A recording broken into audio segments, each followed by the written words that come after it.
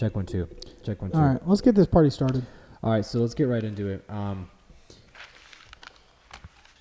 so we're going to uh, just start talking about the um, the the platform book.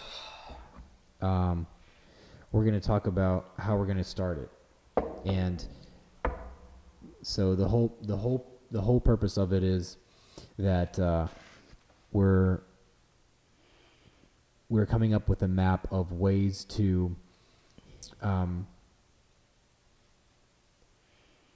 we're coming up with a map of ways to um, how to seek how to seek God, at least from our perspective. How to seek how to seek him or how to find him? Both. Uh, Both. Because I, I do think if I'm if you're hearing something, just let me know mid mid recording so we don't go the whole thing. But I do think there's a difference between seeking and finding, Yeah. Yeah, totally. and I think a lot of it has to do with perspective. Okay. Yeah. So, and again, this is from our account, and this will probably Yeah. be this will probably be um, many times rewritten, but at least we can start getting the um, the steps down. Yeah. And so, So maps, map of ways to let's let's just experience God. let's not necessarily. Yeah, I mean, we can. Oh, th- I'm that'll- just doing this that'll for be my own. yeah, that'll be a generalization, and then Yeah. we'll, we'll pinpoint it later. But I'd say we just start discussing Well- what we what we think those things are, and then we can start we can start itemizing those things from uh, maybe what we think is most um, valuable, um, at least to start with. I mean, how do we start? So we can Yeah. only really we can obviously only speak from our own experiences. Yeah. So let's try really hard not to um, uh, let's let's not fantasize anything or, or be too idealistic. Let's just talk from our own personal experiences, and then we'll we'll write down what we agree on, and Not- um, we'll go from there. Well, not only that, because you're talking about the content of the book when you say that, right? Yeah, Uh, Okay, so so not only that, I agree with that, but also uh, for sake of the viewers, let's we're, we're just talking out loud. That I mean, we literally, as opposed to talking uh, not out loud. yeah, no, like this is like a soundboard. We're we're brainstorming Yeah, out loud instead of instead of trying to be extremely like format. Like yeah have a, have a rigid structure of how this is happening this is we're recording this we could be doing this without recording it but we we decided to incorporate this as part of the platform so yeah. um, i see we just and that's what it is it's just kind of um, raw Yeah, which is really cool because we get to see the evolution of this thing. yeah Right? exactly It's and, so- and that yeah it's it's a good it's a really good thing because we can and that's why there'll probably be multiple versions because we'll we might be able to um, do like subcategories of of uh, chapters or whatever we want the steps and go further i think we'll go very further much further in detail on certain on specific Yeah. steps which you can you know if we start to talk about uh, things like subconscious programming then imagine that that could be a whole that could be a whole book in itself Yeah, and not only that, but if you think about it, um, when you read books, the authors allude to other books that they've written. Mhm. Like even Bruce Lipton, you know, Yeah. like he's in um, the Honeymoon Effect. He references yeah the biology of which i'm belief. sure will do a lot So yeah, my point though is that we could have a whole nother book on a chapter.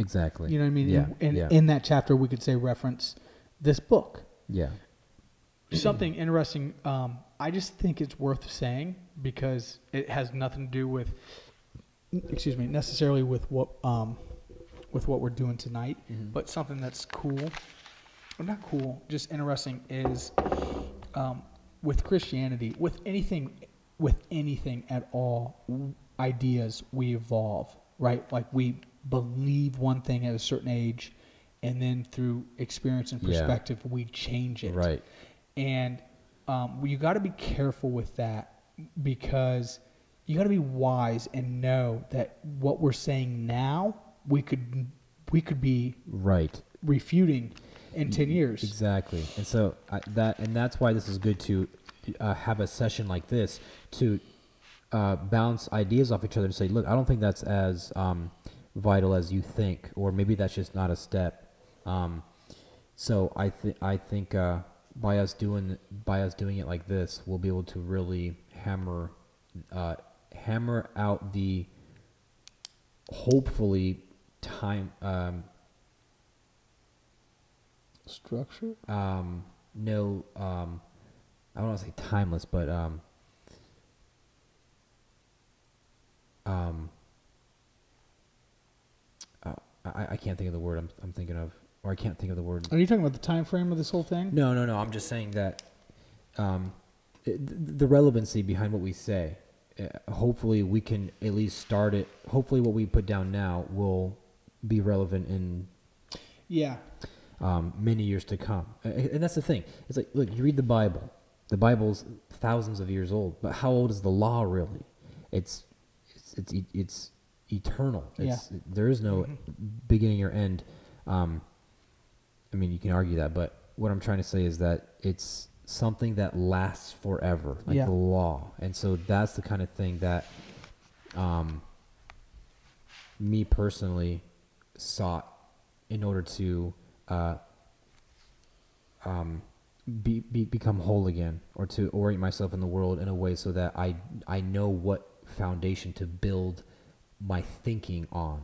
Yeah. So, you know, you're saying how when you're young, you you go through these things of, you know, when you're young. First off, you're totally inexperienced, but when you're young, you hold on to certain ideas, and and it's these things that we hold on to that just kind of carry us along, and whatever those things are, is what it is, but it's really your the the narrative you uh, persistently rehearse to yourself Yep. every single day, and we can get into all that stuff. So, all right, look, Hey, real quick, uh, were you going to say something? Do you have a thought? yeah, Okay, go. but it, it, you can go ahead and say what you're gonna say. 'cause- Well, I was going to piggyback off what you just said because maybe even in the in the book, in the beginning of the book, we talk about that because I think that's so so um, fundamental. Mhm. If you don't understand that you see things through a lens which is specific to your upbringing and your um, uh, experiences. And if, if you don't understand that you're seeing through that lens, which is made up of those experiences, then you're. Did you see, hear that shift? Then you're gonna then you're gonna operate under this idea that you're absolutely right, and that um, that how you see things is objective, yes. and it's not. Mm-hmm. I mean, it's so funny because if I'm seeing a truth through a lens and I believe it's it's an absolute truth, and then because of an experience that happens, the lens gets either filtered, Right. changed, or whatever, Yeah. and then I completely, you Or know, another lens gets added. It's just Exactly. like layers of lenses. yeah, yeah, Yeah, that that is so that is incredibly fascinating because um, it'd be it'd be so interesting to dissect and be able to articulate what those lenses are. Mm-hmm. What is it really? How how is it that we see things differently, and our experiences completely affect that? Well, okay. I mean, uh, just to just to give one clear, super easy example. Think about homosexuality. Mm-hmm. Okay, so like when we were growing up, we were on the tail end of homosexuality being like, oh my god, like leprosy. You know, leprosy in the Bible, mm-hmm. like you couldn't even be around a leper. Mm-hmm. Like you, you, like they cast them out of the villages Yeah. um, we, like when we were growing up, we were on the tail end of, of like homosexuality being like, don't even talk about it. Like, don't even associate with homosexuals. And now, and that doesn't mean everybody believe that. That just means like the population. Now, we're in an era or a generation where, like, there's this movement of, you know, uh, what is it like? Um, love wins. You know, like like I don't know homosexual friendly. You know. Oh yeah, man. I uh, today I was, or not today, but the other day I was at uh, the Starbucks that I go to quite often. Um, you can see that culture completely um, being uh, transparent Yeah. in in that specific location. They're probably doing it in all of them, but the one that I go to, um, you can see the the flags Mhm. um, everywhere, and then they also have a plaque, uh, like a billboard that has the story of two of the p- workers there who got married, and they're they're both um, you know they're women. So um, it's it's definitely just it's very it's being very um, open in our culture and Well, Um, so so real quick. Yeah, where you going with that, by the way? Okay, so regardless of how you personally view homosexuality, Yeah. if you have, let's just say that you are in a religion that condemns homosexuality, right? And you have two people that are in that religion, one that has a son or a daughter that is a homosexual, is probably going to interpret that religion through that lens Absolutely. Yeah. and that love of for those children yeah. It's a, and s- Yeah. so so it's it's a lot easier for that person that has the, the son or daughter to say well no god god didn't mean this when he wrote that or that's not what that means Sure. and whatever and then the other person to not have that lens and be like no you know this Yeah. is this is the way so i think it's i think it's experience you know like Mm-hmm. you were you were asking like how um like to understand or how can we understand that better but i think that's like the fundamental thing is uh, people's experiences drive those lenses and if if you don't if you're not aware of that then you're going to be um, ignorant Mhm. to to your own lens and Yeah. that's i'm telling you man that is dangerous It is dangerous, and I feel like that's. I mean, that's something. You know, that's an interesting uh, subject. Now, the thing that.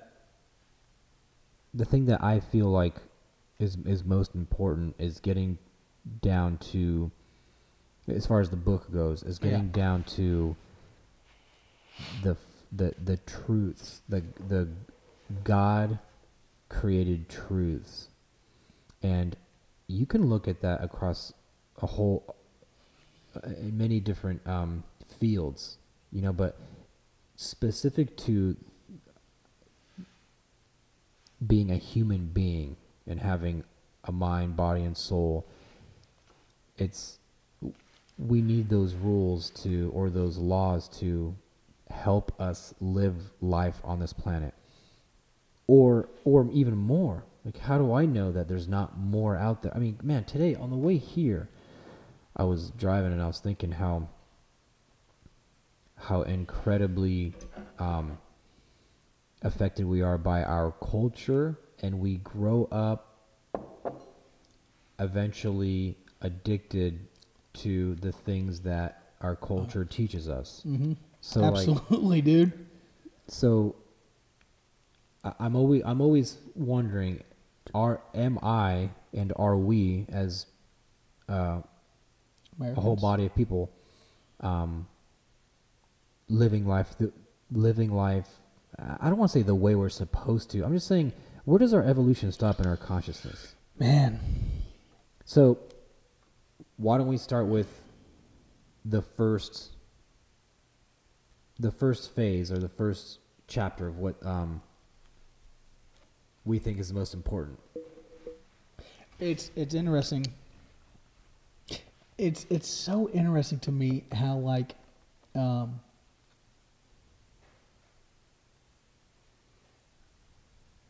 just I'm just thinking about like our whole lives, how like in sync we've been as far as like I don't know, just like thinking, you know. You like- mean me and you personally? Yeah. yeah, yeah. Um, uh, because I was just I'd just been pondering that for the last two weeks, like Mhm. that specific idea, Mhm. and um, I you know I watched a movie that like two weeks ago, two weeks ago that shed a completely different light on life Mm. and how how one person leads you know their lives and from the outside in, it looks pretty awesome. It's kind of just this um, this idea of um, being free spirited and and not caring what other people think, Mm. you know, Mhm. and it got me thinking like, man, who said this is right and this is wrong? Yeah. Who said that? Be- Or yeah.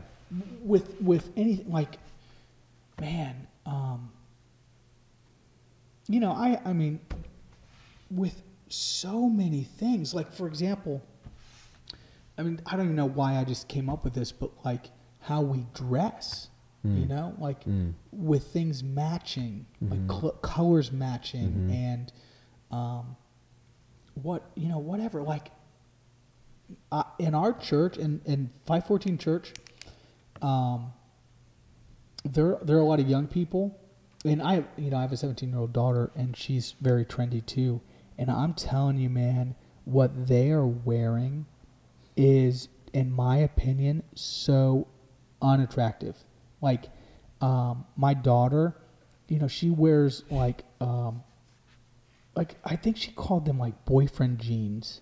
Like they're uh, they're act- they're actually a thing. I think they're called boyfriend jeans or something like that. Does she actually wear her boyfriend's No, jeans? Oh. but they're like they're just they look like guys' jeans and they're you know baggy and they're cut up and like these they're you know those charcoal colored jeans like Mm. uh, like black and gray, Mhm. wearing them up past their belly button, Mhm. just like kind of like '70s style stuff. Mhm. Maybe it's coming back, but but I look at it, you know, as an older person, Yeah. I'm I'm just I'm like that's not. I don't like the way that looks. It's not hip to me. It's Yeah. not cool. Remember when we used to wear JNCOs? Yeah. I mean, With the chains. dude, the the Those are so pant legs stupid. were that big. Yeah, you can't even walk in them. So my my point in that that stupid tangent was who who Decides. decides Yeah. that, and then makes you feel uncomfortable Mhm, mhm. because you don't conform. Yeah. Well, that's the thing too. We're social animals, right? So we we um we we we need to feel a part of a group, and the group is getting the group seems smaller and smaller because of what what it seems like everybody's paying attention to. So it's, it seems, man, I. Gosh, man, there's so much stuff to talk about. It's, know. it's so ridiculously in depth. The whole thing. Look, I wanted, I wanted to just like the things that the thing that I've been thinking about the most is Get comfortable, dude. the the incredible the the the phenomena of reward neurons. Okay, so here here's how I understand that. You get you get the feeling of some kind of achievement or fulfillment and it's a chemical release in the brain when you get something that you think has value. Hmm. The easiest example is that is money, let's just say. Let's just say somebody gives you a check for 5 grand and you get a release you get a, you get a release. Something happens where you're like you feel empowered, you feel that this thing has value, and you feel good. And it and that we can here's where it gets crazy.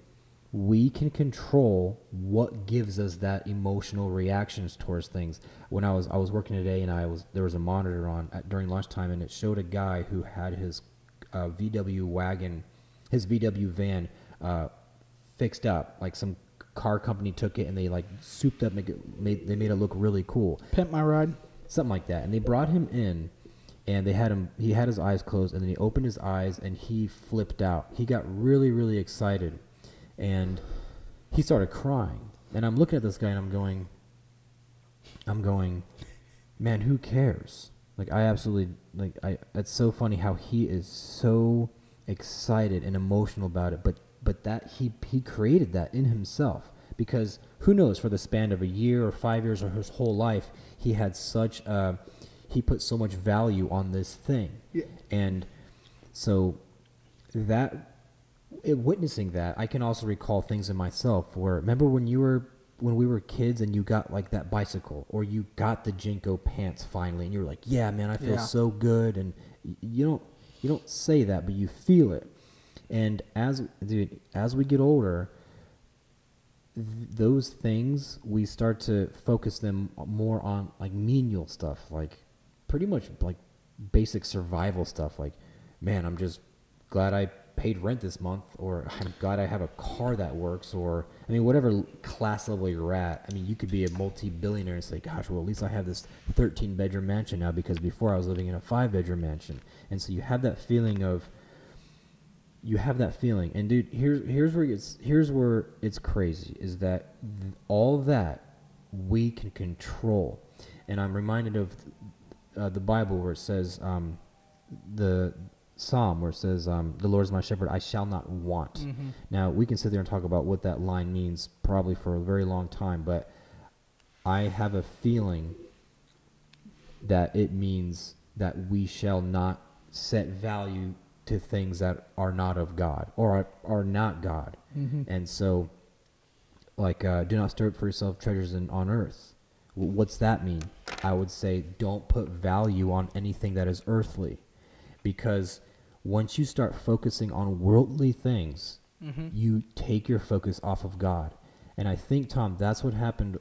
That's what's been happening to us for the course of who knows how long, how many years. But I think individually and as a society, we are focused on the wrong thing. Mhm. We're, we're setting our we're setting up our minds to get stimulated um, when we get these worldly things, either status, um, achievement, finances, material. Um, it could be family. Somebody be like, man, I need to, I need to make the biggest family. I gotta have the biggest family, you know, because that to me has value. But it's like,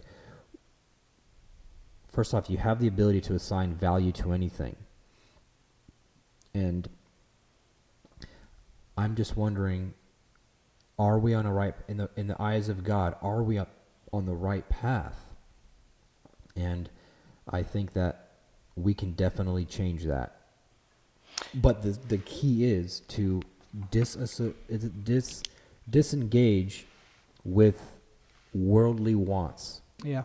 Well, to answer your question, I mean, and personally, yeah, I think we are off the path. I I- think so too. I think we're we're way removed. But I think we're I personally think we're so far removed that we can't get back to the intended path or the Mm. original path because we've evolved too much. But like I think what gives me great pleasure is um, the very simple things in life. And, and, and a matter of fact, like aside from having the equipment to do it, the free things, you know, like hiking and canoeing, you know, and um, uh, just being out outside with friends, you know, and doing cookouts, things like that. Um, but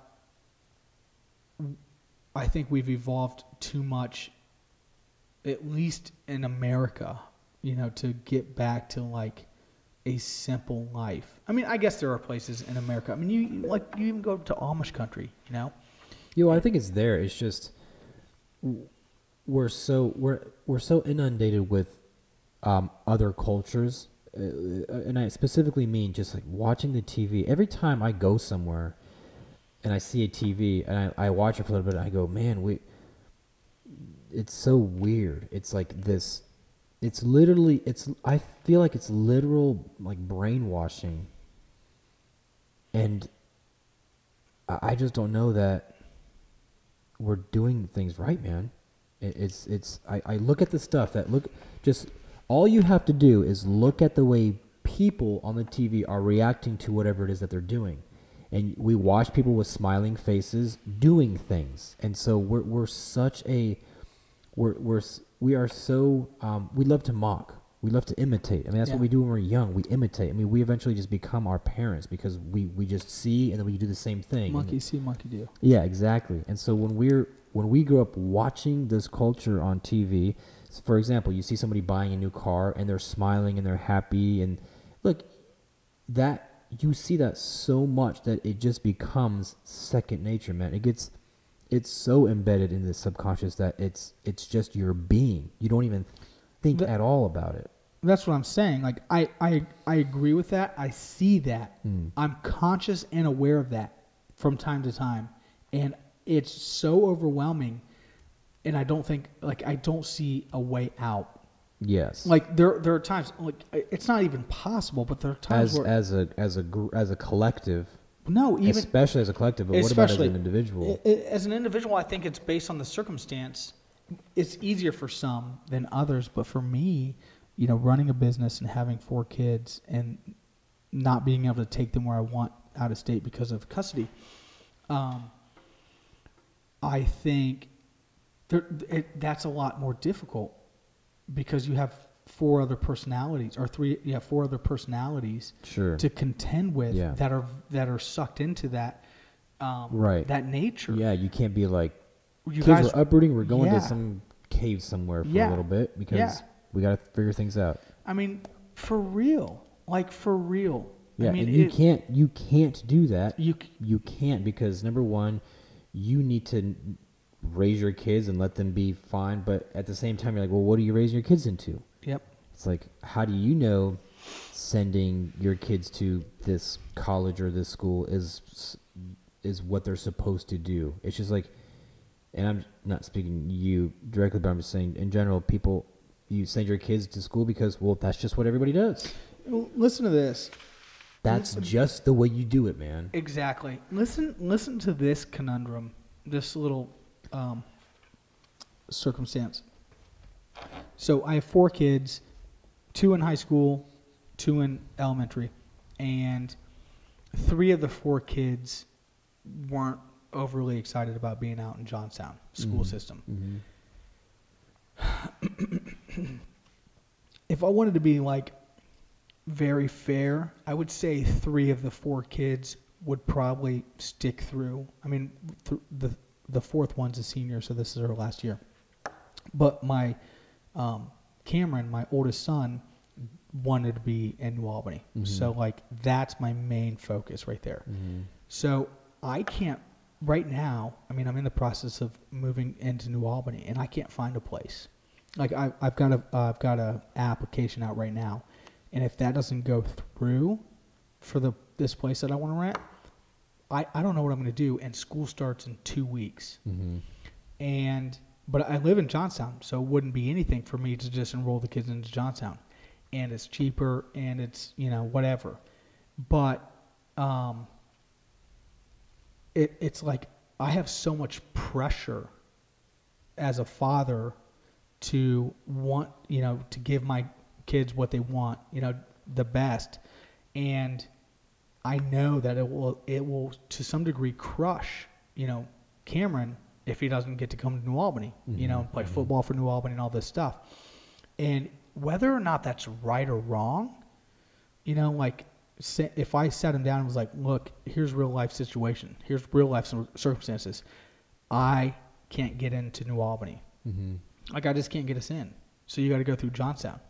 Like, you know, whether that's objectively right or wrong, morally right or wrong, you know, there's a right answer or a wrong answer to how he should take it or not. Doesn't matter because how he takes it is going to be how he takes it. You know, so even if he should be accepting of it and be like, okay, I understand, life's tough, life's not fair, I'm just going to go to Johnstown.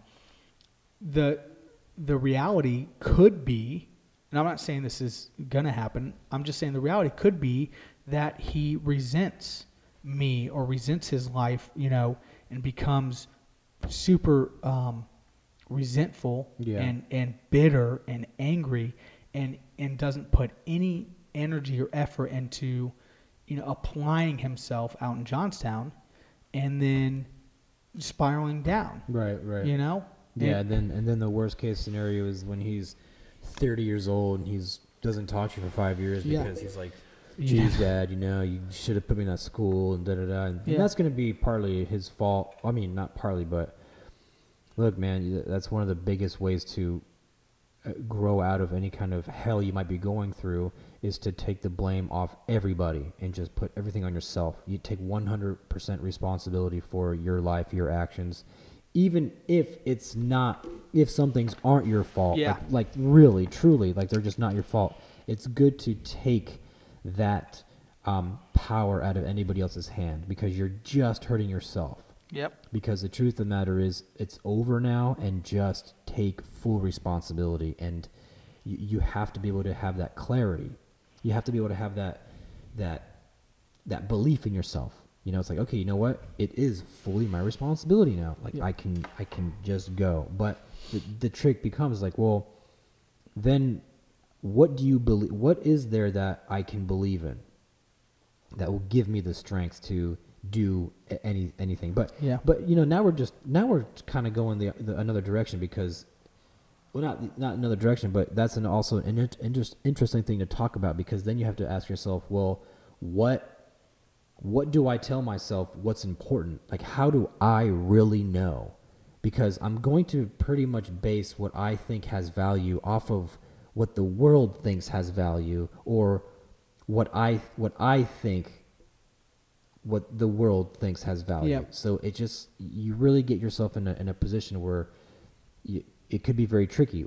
Am I what? Who am I doing this for? And if I'm doing it for myself, why am I doing that thing for myself? Why do I feel like that's why is that important to me? Mhm. And if you can answer that question, well, but why? Like who who where does that come from? Why is that a part of our a part of our makeup? Is that we can we can find things that have purpose and and not and we can we have a lot of control to a certain extent to what those things are. So well I mean, let's aside from the introduction and all that stuff, wh- what are we aiming at here? What's what's the first thing we need to say and, what this book is about? Okay, well, so I hearing he, hearing what we've been saying over the last six months, and in this conversation, I would say that our goal is to get somebody that has a perspective of being unfulfilled, unworthy, unhappy, unsatisfied in life, and having nowhere to turn necessarily. Which which is the easiest? Because look, it says in the Bible. Sorry to cut you off. No, you're but fine. it's- It says in the Bible, um, "Blessed are the poor in spirit, for theirs is the kingdom of heaven." Yeah. So it's like, well, why do we want to appeal to those people? Well, first off, we were there. I mean, we're not fully out yet, but we're we were in a really hard place, and so those are the easiest people to appeal to because those are the ones who are seeking anything just to help them get out. I would argue that they're the only people to appeal to. And I say that because in Matthew 9, um, 11 and 12, I think it is, Jesus said, um, upon, upon hearing this, Jesus said, It is not the healthy who need a physician, but the sick. Mm. And if you think about that, healthy people, th- they won't look, you know, they don't look for, um, they don't think they're sick, you know, Mhm. so they won't go see a doctor, Yeah, you know, and so, yeah. um, And so, who, who, what's that saying? Like, who is the sick? w- Yeah. and that's that's the thing What is is what we're, we're all sick. Exactly And- right. But the the and I think what he meant by that in a lot of the Bible is um, is the Pharisees, the righteous, the people that think they're righteous, Mhm. they are self righteous. Yeah. Those are the people that don't need anything from anybody else. They've got it all figured out, Mhm. and God can't help those people. Mhm, mhm. You know, because they don't need help, Mhm. but they do. They need it the most. Right.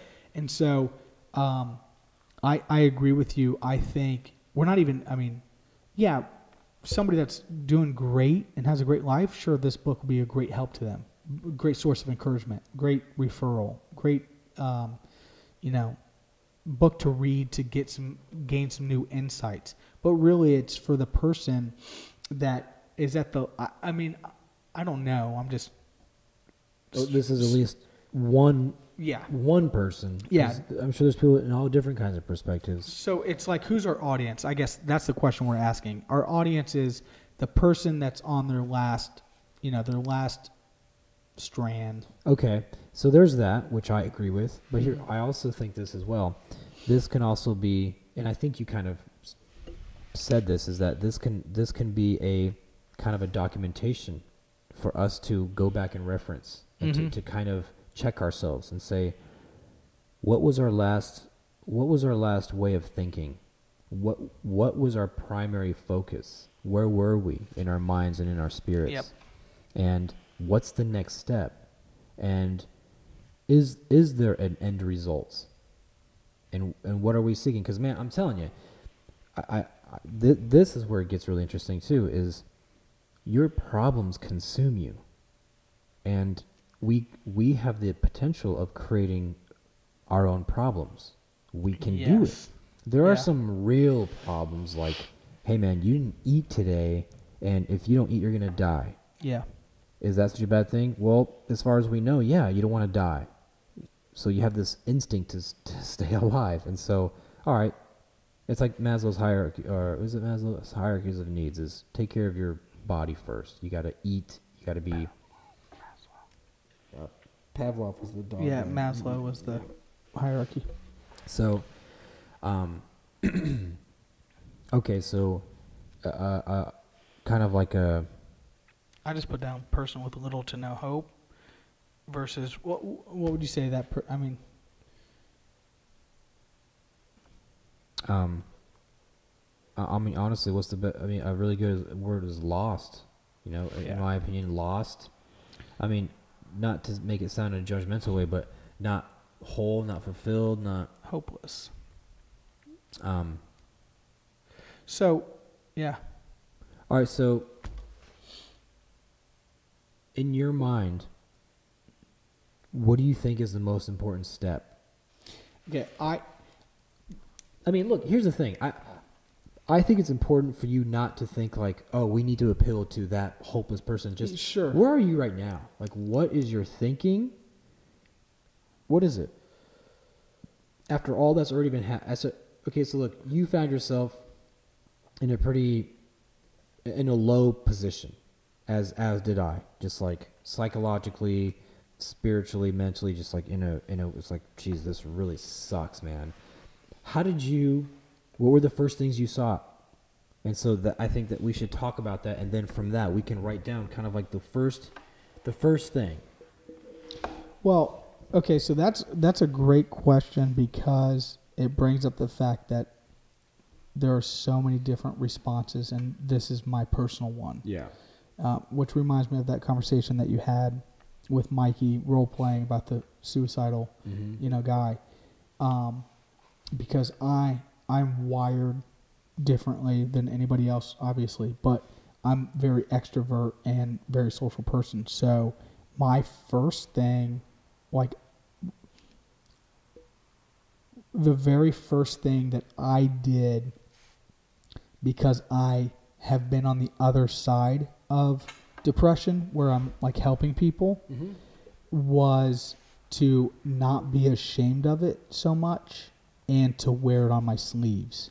And I I tell you what, I I'd be I'd like to hear from people um it'd be interesting to hear from people that knew me that know me and knew me and interacted with me in the last 3 years and to hear their their thoughts on how I um, presented myself because I not with like just anybody, I was pretty open with what was going on in my life. I mean, when people asked me how I was doing, I like without even thinking, I would be like, "I've been better," or "Not so great." You know what I mean? Yeah, yeah. and um, and so I I expressed my feelings to a fault. Like if anything, people would accuse me of sharing too much. Yeah. you know, Right. and Because I you're, you're not supposed to. Yeah yeah exactly. In our culture, it's Yeah. like and I and I you know I like you know people knew. Like I I was like this. This is this is part of it. I I was definitely borderline suicidal. Like I always told myself that there's nothing that would make me take my own life. There, I just couldn't do it. But I would love for a truck to hit me right now. You mm-hmm. know what I mean? Like yeah. I, there, I don't think I could get I could ever get to a place where I was the person that took my own life because you know my kids. I mean them alone. Like I just I couldn't do that. But um to fantasize about running off the side of the road or you know to be in a, a situation where there's a you know a gun there's a somebody robbing a gas station, and then you're like, oh sweet, you know, For the glory. yeah, Shoot like don't do it. Yeah. I'll save everybody. Um, and so, so in the back of my mind, I kind of had this this idea of if something were to ever happen to me, n- nobody that's close to me could ever say, like, "Oh, I didn't realize, you know, it was that dark." You know what I mean? Yeah. Like, if um, if Which is which is the case with a lot of people, at least from what I understand. Because a couple uh, about a year ago, a woman hung herself. She was mid forties. She had kids, husband. She was actually a teacher at a school. She left her house at eight or nine p.m. one day and walked across to the woods. This is In right Maine. right in front of my parents' house, and Yeah. she she hung herself in the woods. And in the evening that somebody was somebody the police came and they saw the house they said well the door was open and there was no signs of struggle there was no noise.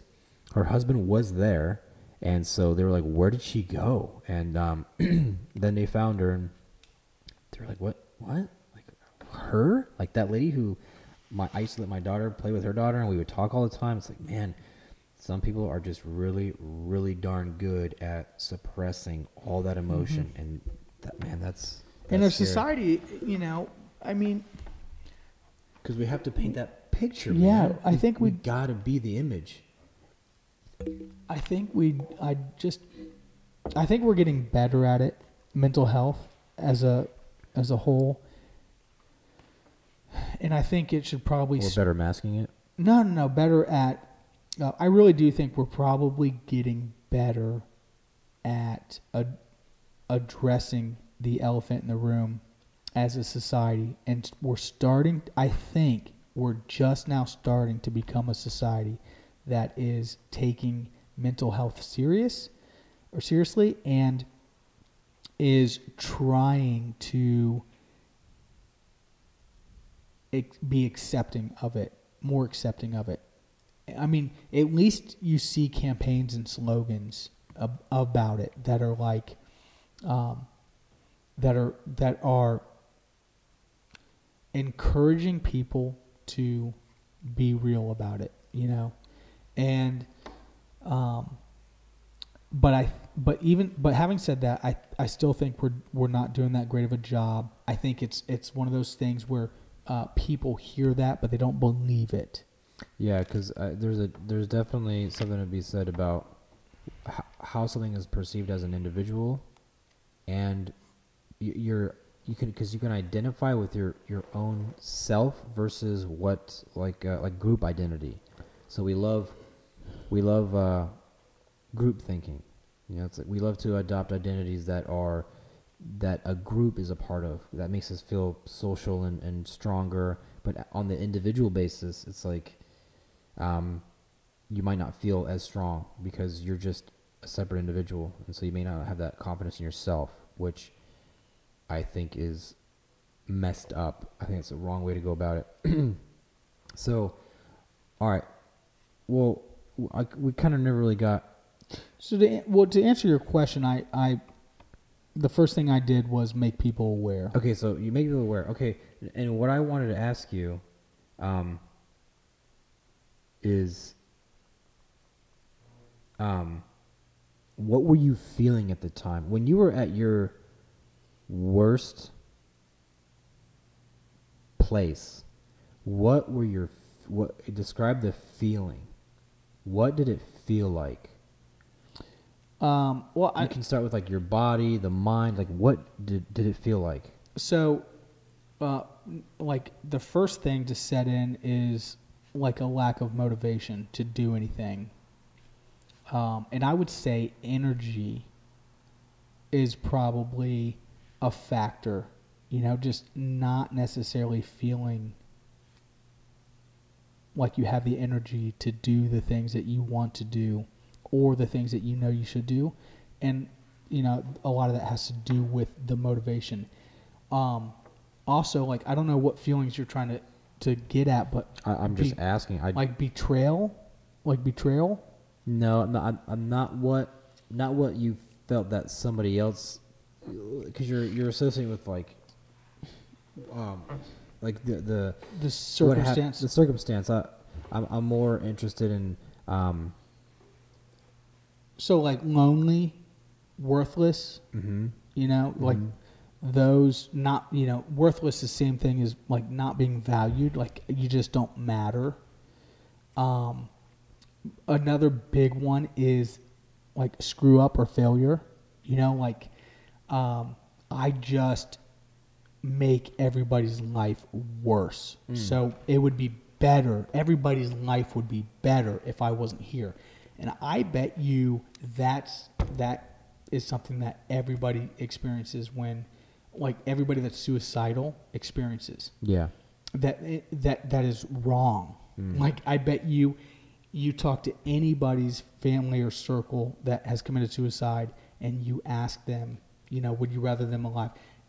It, maybe that's not true. Maybe there are some, you know, just whacked out, you know, drug addict, loser, you know, murderers, or thieves, or whatever that just live crappy lives that nobody misses them when they're gone. I don't know.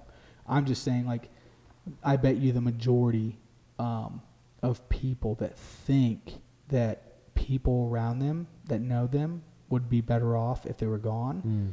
are just completely wrong yeah you know and we just we have we have bad perspectives Mhm. we get that kind of thinking in our head it becomes truth you know and then we see evidences of it when people get upset when we do things. But in the grand scheme of things i mean dude anybody would probably do anything to have a loved one back that took their own life. Yeah. You know like had they just known or whatever. So you spent a good. So there was an there was an instance that happened, and then it made you reflect, and then so from that it was your the constant self talk you had, which seemed which seemed to be more more more negative than any kind of positive uh, um, self talk that you were having with yourself, self talk that you were having. So you were you were perpetually thinking about negative qualities and then feeling it feeling it thinking it thinking it feeling it and so you were always in that low low state right Well, I mean, it's so it's so difficult to think about because it's it's it's almost like depression or whatever word you want to use for depression that we're Mhm. talking about is this theme or this thing that, that is constant but even within that there are other emotions Mhm. somehow within the depression because even while I was in a season of overall being depressed, there were still a lot of great times. right You know? yeah so man Like Yeah. that's that's what's crazy about it because it it's almost like second to second, you know, or minute mhm, to minute, mhm, hour to hour because it's it's not I don't know. I don't know how depression works on a psychological scale of measuring it, but I don't think it just disappears and then you're not depressed and you take your kids out to dinner and you have a great time yeah and then you go back and you're and then you're depressed.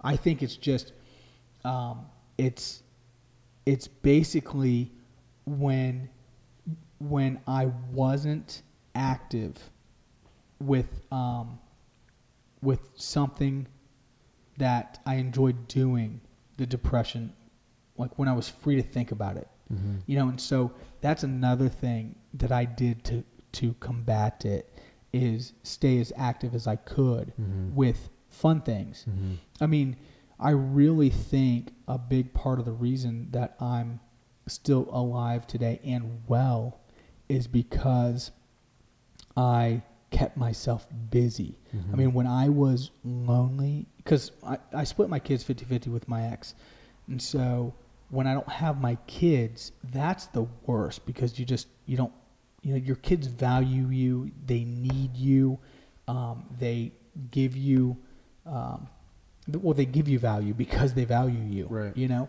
and so having them there present is is huge because you have to. I mean, if you're a decent parent, you have to step up and fill that role as a parent. You know, Mhm.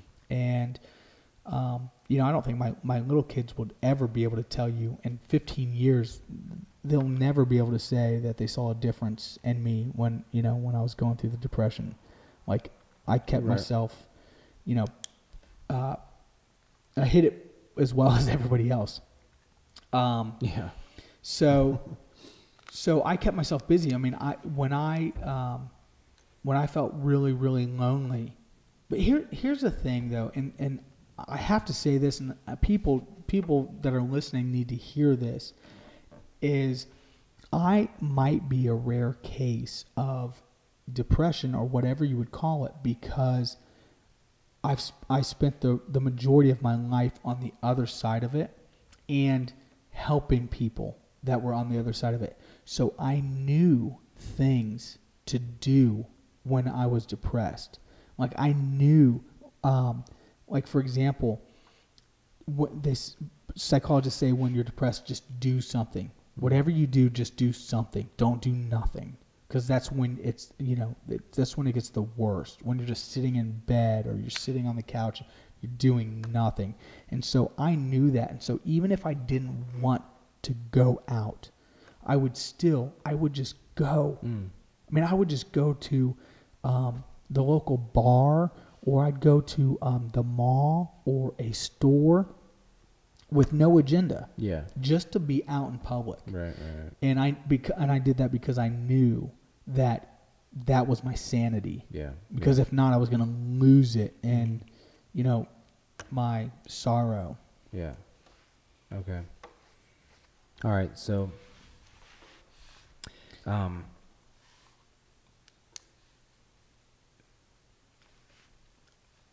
you know if i if i could tell and we we've talked about this before but if i could tell um if i'm on the other side of it and i'm writing a book and i could tell somebody like you know one of the first things i, I would say is um one of them it's somewhere in these chapters is the victim thing that we've been talking about Yeah. so much is is not to play the victim and you said it man i mean take a hundred percent of take a hundred percent responsibility yeah. even if you don't even if it's not yours take it and then that enables you to move on and Yeah. move forward it doesn't give anybody else any power to hurt you or whatever Yeah. So one thing that was very powerful for me was when I came across uh, people who were talking about emotions being a re- related to um, states of vibration and frequency. Like when I Mhm. started to think about things like that differently, when I started to have this perspective that the universe operates um, fundamentally on uh, these levels or, or in Mhm. that way, it made me start to identify with being something that had control of my emotions and, and mental state. Um, instead of instead of identifying with emotions and and being in being in the living the emotion and perpetually uh, identifying myself with it, which would just uh, persist the emotion, then um, I was able by identifying through that new knowledge, I seemed much easier to get out of it. So that was very powerful for me. I don't know if that had any uh, effect on you or if you were exposed to that. no like the vibrations and Yeah. So like I sent you that video a while ago, the one where he talks about how the i i- the video just starts it starts talking about your brain and how there's different um how you, there's a neural network and how uh th- these things fire and this happens and it's all it all can be decoded to like electrical um uh it, it, it could all be uh, translated to like electrical signals, you know, like emotions, and um, so that made me start to think like, wait a minute, what if I what if I'm just like this ball of um, electrical energy, and when I'm in a certain vibrational state, I I feel these certain emotions, and you can kind of really simplify it because we can look at people's specific situations and then say, "Oh man, that sucks. Like you went through divorce. Oh, that sucks. Like your dad killed himself. Like that sucks. Like oh, that sucks. You grew up in poverty and your mom left when you were five. Like these are all very specific happenings, but and then the worst thing is to identify specific I, to identify with that and be very specific about um, that identity and and really um, really identifying with it. And, and and identifying means you like really really hold on to all that feelings and emotion and that's just who you are. Yeah. and you and some people can live with that for the rest of their life. And um so but that that to me is lack of awareness. But once you start thinking about it if you allow yourself to kind of uh, expand or if you come into that knowledge then for what for for whatever reason you just have a different perspective and things shift that's what happened to me and so what i find interesting if if in fact the universe does operate like that then things operate at different frequencies. There's different levels of vibration. And so it was I was interested when you were talking about how do you have like depression and then you have like your ups and downs in the, in in depression. Well, Mhm. that's kind of how like um certain like uh like sound waves and uh, electrical waves it, so like you can be in a bandwidth you know and you can say well Yeah. this this bandwidth this frequency level whatever it is whatever spectrum whatever scale it's that's on well you're you're operating in it like that oh yeah oh do we have a leg marker Yeah. okay so like i don't know if this That's yeah, that kind of sucks. But What? Well, I don't know if it's gonna come up on camera, but let me just quickly, like.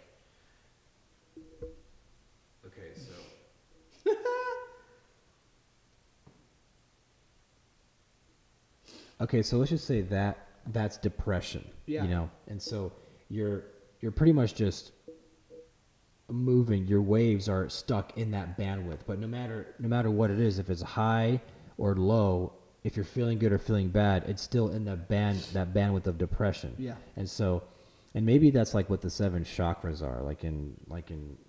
Have you heard of the seven Yeah. chakras and all that, all that goodness? Taoism or No, it's like Buddhism. I think yeah, Hinduism? Buddhism. I, I don't know. I didn't study it too much, but um, so you have like seven. Like this is like the feet, and then you have your head, and then it's, so it's Yeah. like if you're operating at a low frequency, then you're you're very much in like the primitive state, you know. And so I think that I think these bands exist, and I think that the higher you go, the more I don't know enlightened you are, whatever the word is, whatever the proper say call it what you want. It is a thing and i just think it's just like a level of frequency you're operating at.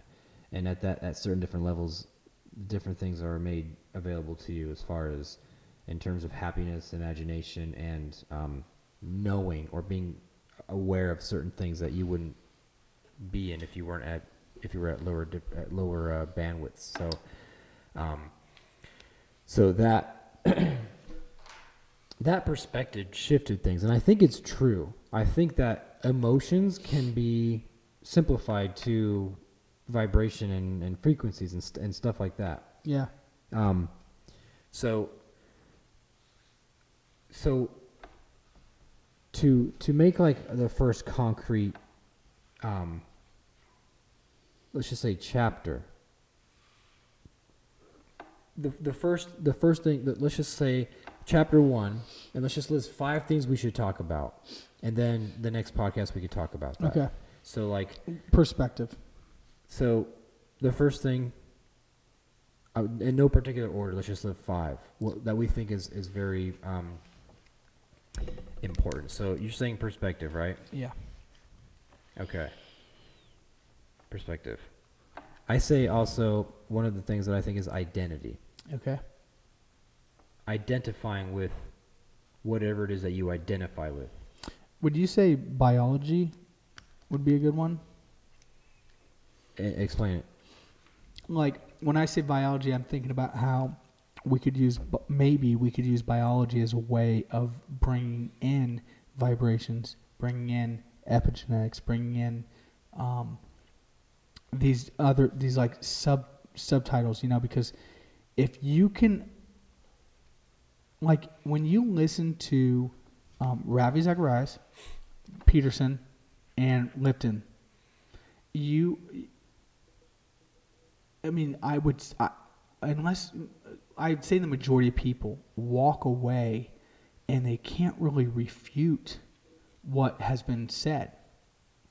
Because they just they're like, I mean, they just speak with such truth, you know, and confidence, like all three of them, in in their different fields of expertise, you know, mm-hmm. like when I hear Bruce Lipton speak, I mean, there I'm sure there are some things that he has said along the way that I don't agree with necessarily or I don't resonate with, but this, you know, the majority of the stuff he says, I hear it and I'm like, "Oh my gosh, this is scientific fact." Yeah. These are laws. And so if like once I understood those, once I understand what he's saying, then I'm like then I realize, "Oh my gosh, yeah, there's hope. There's a solution. Mm-hmm. I can change." The, you know? Yeah. And so I think um, I think if we can have a have a chapter, maybe not the first chapter, but have a chapter about biology and how even if you don't believe that we got here by God, by a creator, to understand that you are a chemical makeup and this is how you were put together and um, here's the components of that Mm-hmm. and here's how they work, then you can start to understand the universe better. Mm-hmm. You know, so I, I when I say biology, I'm just thinking about epigenetics. I'm thinking about vibrations. I'm thinking about um, psychology. You know, um, the mind, Mm-hmm. and I and I uh, just use bio, biology as a blanket to, you know, encompass all that. Yeah. Okay, so we got perspective, identity, biology. Four. Let's get two more. What what else is? Well, I mean, that, that is a lot because it's The- not like That's a lot of content. You're right, but I think it's good. Let's just let's just write down two more just Yeah. for fun. How would you, um, how would you put it? And I'm not saying that this should be on here, but if it is, how would you phrase this idea of, or this thought that we were talking about of how this the social norms and society puts rules on things Mhm. or um, being brainwashed or you know like what, how would you phrase that because i think it's good to i think it'd be good to talk about that at some point on talk about how why we believe the things we believe Mhm. you know that that are just passed down to us from yeah, like I think I think a good a good word is uh, conditioning.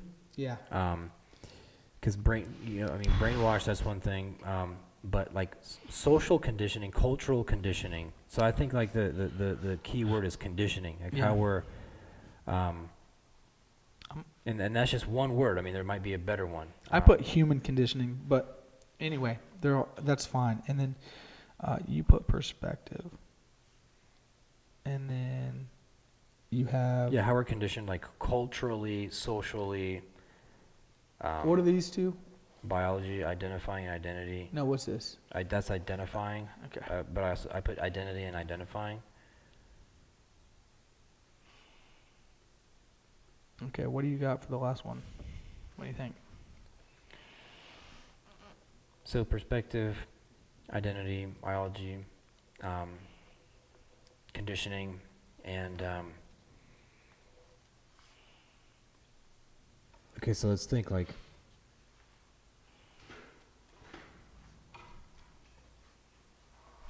the most important things. Um, the the most important steps that What about value? What, what about value assignment? I, th- I actually think value assignment. I'm, I'm, I'm just writing down for myself, but we, we, we could add it if you like. But I think that's a really really big. That also goes. That also ties in with I think conditioning because Yeah. because you got to ask yourself the question is what gives you what do you think has value and why Mm-hmm. why does it have value what do you hold on to Yeah. I think that's good, and it deals with purpose, and it it deals with you know feeling worthless and Mhm. and culture and everything else we're we're talking about.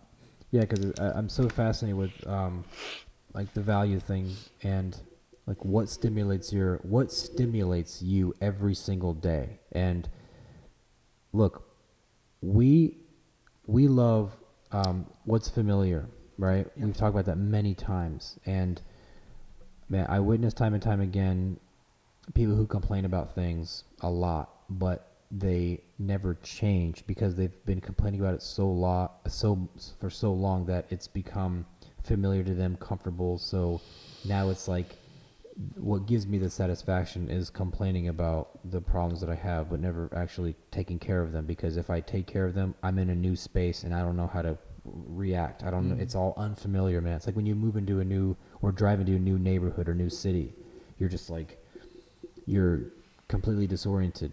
And Not me. and Yeah. you feel you feel odd. You feel like I don't know what to do. You feel weird, and it's not familiar, man. So we we um We don't like the unknown.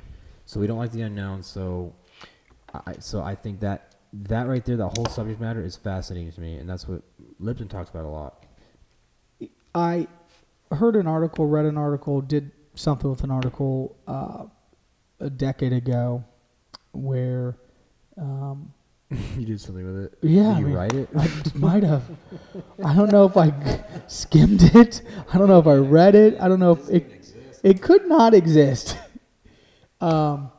Anyway, you've heard it. It's this idea that gamblers and addicts, well, gamblers, are addicted to the loss or Oh, you wrote, you did write that. It's in your book. Yeah, you you read that. Yeah, they're addicted to the loss Yeah. because what's the reason? Why are they addicted to loss?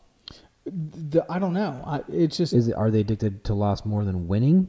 they're they're addicted to the feeling of it. Like they get um, the stimulation of it Mm-hmm. just as much as you know the winning is losing. I don't know. I'm like paraphrasing, but it's this idea Yeah. of that the loss is Yeah.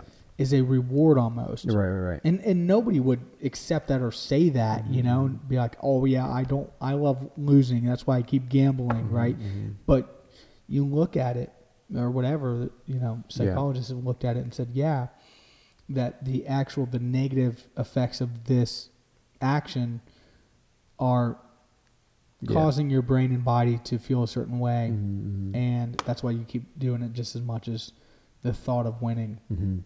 Um, Yeah. All right. So, well, I mean, we got these down, and then uh, we can play around and see how we want to eventually format this. Um, but uh, yeah, well, any uh, last things you want to say before we? No. Uh, that, that's all.